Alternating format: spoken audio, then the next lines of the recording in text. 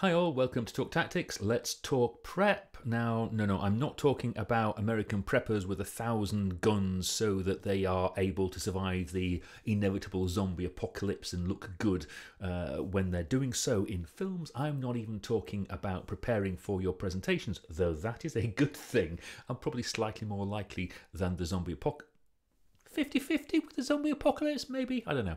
I'm talking about the acronym PREP, stands for Point, reason, example, point, and it's a I was going to say it's a great way. It's it, it's for for structuring your presentation. That's not true. There are better ways, but if you're looking for a structure to actually get you started, point, reason, example, point is a good way forward. Worth pointing out, it also works for your answers to questions. So point, this is what I'm after. This is what I believe. This is what I'm stating. Reason.